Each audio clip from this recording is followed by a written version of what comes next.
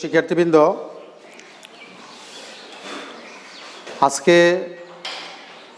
আমি তোমাদের ষষ্ঠ শ্রেণির গণিত নিয়ে আলোচনা করব।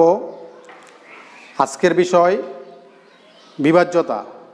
আমি পূর্ব একটি অনলাইন ক্লাসে তোমাদের বিভাজ্যতা নিয়ে আলোচনা করেছিলাম।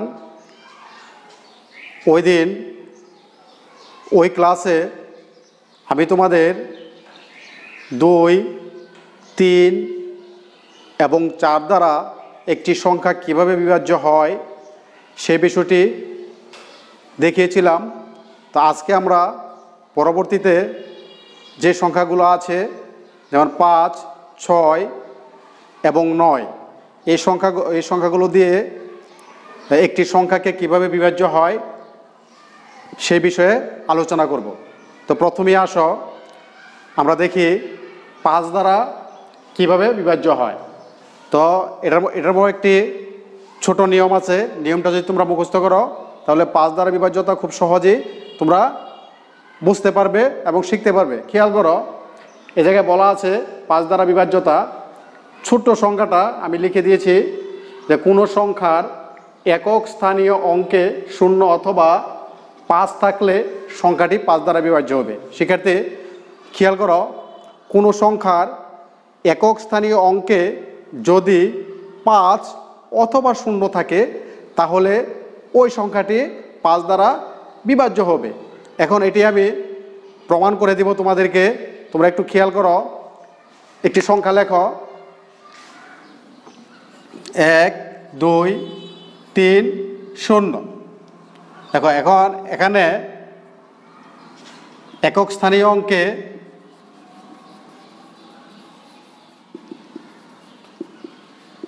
শূন্য রয়েছে। তার মানে আমার সংজ্ঞা অনুযায়ী যদি শূন্য থাকে অথবা পাঁচ থাকে, তাহলে সংখ্যাটি পাঁচ দ্বারা বিভাজ্য হবে। এখন পাঁচ দ্বারা বিভাজ্য কিনা আমি তোমাদেরকে দেখিয়ে দিচ্ছি।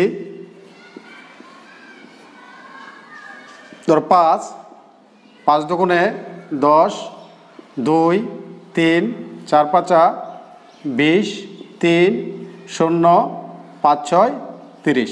দেখো কত সুন্দর হয়ে বিভাজ্য হয়ে গেল। পাঁচ দ্বারা পুরা সংখ্যাটি বিভাজ্য হয়ে গেল। আবার যদি তুমি দেখো একক স্থানীয় অঙ্কে যদি তুমি পাঁচ দাও, পঁয়ত্রিশ, একক স্থানীয় অঙ্কে পাঁচ দিলেও সংখ্যাটি পাঁচ দ্বারা বিভাজ্য হবে। পাঁচ দুগুণে দশ, দুই, তিন। চার পাঁচা, বিশ, তিন, পাঁচ। পাঁচ সাতা, পঁয়ত্রিশ, শূন্য। তার মানে একক স্থানীয় অঙ্কে পাঁচ থাকলেও অটোমেটিক সংখ্যাটি পাঁচ দ্বারা নিঃশেষে বিভাজ্য হয়ে যাবে। এখন তুমি দেখো, যদি একক স্থানীয় অঙ্কের শূন্য অথবা পাঁচ না থাকে, তাহলে কি হয়? ধরো তুমি একটি সংখ্যা লেখো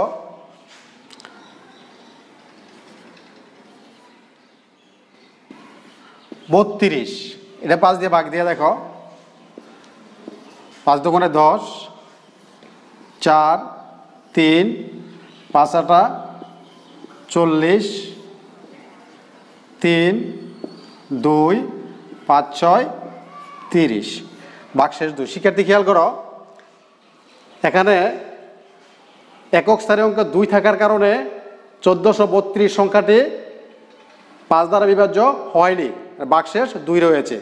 তার মানে আমাদের যদি আমরা এই সংখ্যাটা মনে রাখতে পারি যে একক স্থানীয় অঙ্কে শূন্য অথবা পাঁচ থাকে, তাহলে পুরা সংখ্যাটি পাঁচ দ্বারা বিভাজ্য হবে। শিক্ষার্থীবৃন্দ, এবার আসো। আমরা দেখি ছয় দ্বারা বিভাজ্যতা। শিক্ষার্থী, এবার খেয়াল করো। ছয় দ্বারা বিভাজ্য। একটি সংখ্যা ছয় দ্বারা কীভাবে কীভাবে বিভাজ্য হয়, সেটা যদি তোমরা এই সংখ্যাটি পড়ো এবং সংখ্যাটি অ্যাপ্লাই করো, তাহলে ছয় দ্বারা বিভাজ্য। খুব সহজে একটি সংখ্যাকে ছয় দ্বারা বিভাজ্য হয় কিনা তোমরা বুঝতে পারবে। তো আমি সংখ্যাটা পড়ি। কোনো সংখ্যা দুই এবং তিন দ্বারা বিভাজ্য হলে সংখ্যাটি ছয় দ্বারা বিভাজ্য হবে। আমি আবারও বলি, একটি সংখ্যা দুই এবং তিন দ্বারা বিভাজ্য হলে পুরো সংখ্যাটি ছয় দ্বারা বিভাজ্য হবে। যেমন একটি এই জায়গায় একটি সংখ্যা লেখা হয়েছে দুই, তিন, এক, শূন্য মানে তেইশশো দশ। এখন শিক্ষার্থী কিন্তু আমাদের খেয়াল আছে, আমরা পূর্বের ক্লাসে পড়েছিলাম দুই দ্বারা কীভাবে বিভাজ্য হয়। দুই দ্বারা বিভাজ্যতার নিয়মটি হলো কোনো সংখ্যার একক স্থানীয় অঙ্কে শূন্য অথবা জোর সংখ্যা থাকলে পুরা সংখ্যাটি দুই দ্বারা বিভাজ্য হবে এবং তিন দ্বারা বিভাজ্যতার সূত্রটি আমাদের আশা করি মনে আছে। ওই সূত্রটি ছিল কোনো সংখ্যার অঙ্কগুলোর যোগফল যদি তিন দ্বারা বিভাজ্য হয়, তাহলে ওই সংখ্যাটি তিন দ্বারা বিভাজ্য হবে। একটু খেয়াল করো, এখানে যদি আমরা খেয়াল করি যে দুই দ্বারা বিভাজ্যতা, তাহলে এখানে একক স্থানীয় অঙ্কে শূন্য রয়েছে। একক স্থানীয় অঙ্কে শূন্য রয়েছে। একক স্থানীয় অঙ্কে শূন্য থাকার কারণে পুরা সংখ্যাটি দুই দ্বারা বিভাজ্য হবে। আবার অঙ্কগুলোর যোগফল যদি তিন দ্বারা বিভাজ্য হয়, সংখ্যাটি ছয় দ্বারা বিভাজ্য হবে। তাহলে অঙ্কগুলোর যোগফল যদি আমরা করি দুই দুয়ে তিনে পাঁচ পাঁচ একে ছয়, ছয়ে আর শূন্য ছয়। ছয়কে যদি আমরা তিন দ্বারা ভাগ দেই, তাহলে এটি শেষে বিভাজ্য হয়ে যাবে।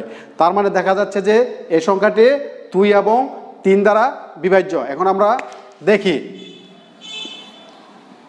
ছয় দ্বারা বিভাজ্য হয় কি না ছয় দ্বারা যদি বিভাজ্য হয়, তাহলে তিন ছয় আঠারো উনিশ বিশ পাঁচ একান্ন ছয় আটা আটচল্লিশ তিন শূন্য পাঁচ ছয় তিরিশ। শিক্ষার্থী খেয়াল করো, কত সুন্দর সংখ্যাটি ছয় দ্বারা বিভাজ্য হয়ে গেছে।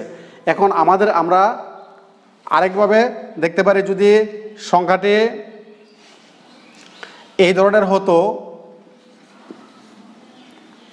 এক, দুই যদি হতো তাহলে কি হতো দেখো, এখানে একক স্থানীয় অঙ্কে জোর সংখ্যা রয়েছে, তার মানে দুই দ্বারা বিভাজ্য, কিন্তু তুমি যদি সংখ্যাগুলো যোগ করো, দুই দুই তিনে পাঁচ পাঁচ একে ছয় ছয় দুয়ে আট আট সংখ্যাটি আট সংখ্যাটি তিন দ্বারা বিভাজ্য হয় না। তার মানে এই সংখ্যাটি দুই দ্বারা বিভাজ্য, কিন্তু তিন দ্বারা বিভাজ্য নয়। তার মানে এই সংখ্যাটি ছয় দ্বারা বিভাজ্য হবে না। আমরা প্রমাণের মাধ্যমে দেখিয়ে দিচ্ছি, তিন, ছয়, আঠারো, উনিশ, বিশ, একুশ, বাইশ, তেইশ, পাঁচ, এক, একান্ন, ছয়, আটা, আটচল্লিশ তিন, দুই, বত্রিশ, পাঁচ, ছয়, তিরিশ। দেখো, তার মানে সংখ্যাটি ছয় দ্বারা বিভাজ্য হলো না। তেইশশো বারো সংখ্যাটি ছয় দ্বারা বিভাজ্য হলো না, কারণ সংখ্যাটি দুই দ্বারা বিভাজ্য, কিন্তু সংখ্যাটি তিন দ্বারা বিভাজ্য নয়। এই জন্য ছয় দ্বারা বাঘ দেওয়ার পর অবশিষ্ট দুই রয়েছে, সংখ্যাটি ছয় দ্বারা বিভাজ্য হলো না। শিক্ষার্থী, একটু খেয়াল করো, তোমরা যদি মনোযোগ সহকারে এই সংখ্যাগুলো মুখস্থ করতে পারো এবং মুখস্থ অনুযায়ী সংখ্যাটা তুমি অ্যাপ্লাই করতে পারো প্রয়োগ করতে পারো, তাহলে অবশ্যই তোমার কি হবে? তুমি বিভাজ্যতা খুব সহজে পারবে। এবার আসো, মনে করেন শিক্ষার্থীবৃন্দ খেয়াল করো, আমরা এখন দেখব নয় দ্বারা বিভাজ্যতা। তো নয় দ্বারা বিভাজ্যতারও আগের সূত্রগুলোর মতো সূত্র রয়েছে, একটি সংজ্ঞা রয়েছে, সংজ্ঞাটি হলো তিনের মতো। আমরা তিনে যাকে শিখেছিলাম, নয়ের ঠিক তদ্রুপ। না কোনো সংখ্যার অঙ্কগুলোর যোগফল যদি নয় দ্বারা বিভাজ্য হয়, তাহলে ওই সংখ্যাটি নয় দ্বারা বিভাজ্য হবে। কোনো সংখ্যার অঙ্কগুলোর যোগফল যদি নয় দ্বারা বিভাজ্য হয়, তাহলে ওই সংখ্যাটি নয় দ্বারা বিভাজ্য হবে। এখন আমরা একটি উদাহরণের মাধ্যমে এটি প্রমাণ করব।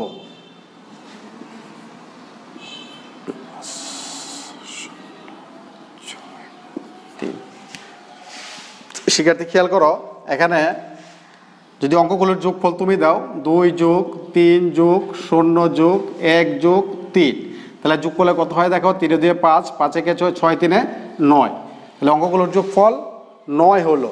অঙ্কগুলোর যোগফল যদি হয়, নয়কে নয় দ্বারা ভাগ দিলে নিঃশেষে বিভাজ্য হয়।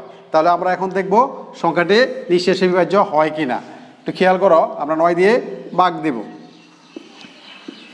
নয় দোকানে আঠারো পাঁচ শূন্য। পাঁচ নং, পাঁচচল্লিশ, পাঁচ এক। আবার পাঁচ নং, পঁয়তাল্লিশ, ছয় কারও তিন। সাত নং, তেষট্টি। শিক্ষার্থী খেয়াল করো, নয় দিয়ে ভাগ করার পর সংখ্যাটি খুব সুন্দরভাবে মিলে গিয়েছে। তার মানে আমাদের অঙ্কগুলোর যোগফল যদি নয় দ্বারা বিভাজ্য হয়, তাহলে পুরো সংখ্যাটি নয় দ্বারা বিভাজ্য হবে। এখন আসো আমরা দেখি যদি অঙ্কগুলোর যোগফল নয় দ্বারা বিভাজ্য না হয়। খেয়াল করো।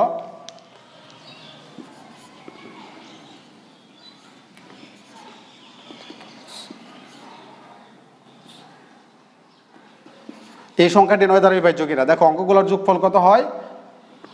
অঙ্কগুলোর যদি যোগফল তুমি বের করো, নয় যোগ তিন যোগ দুই যোগ ছয় যোগ শূন্য। তাহলে যোগফল হচ্ছে বিশ। নয়, দশ, এগারো, বারো, তেরো, চোদ্দ চোদ্দ, ছয়, বিশ। বিশ, কিন্তু বিশকে যদি তুমি যদি নয় দ্বারা ভাগ দাও, তাহলে নিঃশেষে বিভাজ্য হবে না। তার মানে এই সংখ্যাতে নয় দ্বারা ভাগ দিলে ভাগ করলে নিঃশেষে বিভাজ্য হবে না। আমরা দেখি নয় দ্বারা ভাগ দিলে নিঃশেষ বিভাজ্য হয় কি না নয় একে নয় কাটো তিন, তিনের নয় যায় না ষোলো দিয়ে কাটো দুই, তিন নং সাতাশ,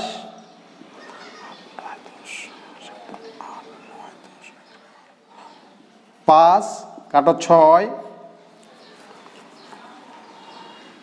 ছয় নং চুয়ান্ন, দুই কাটো বিশ, নয় দুগুণে আঠারো।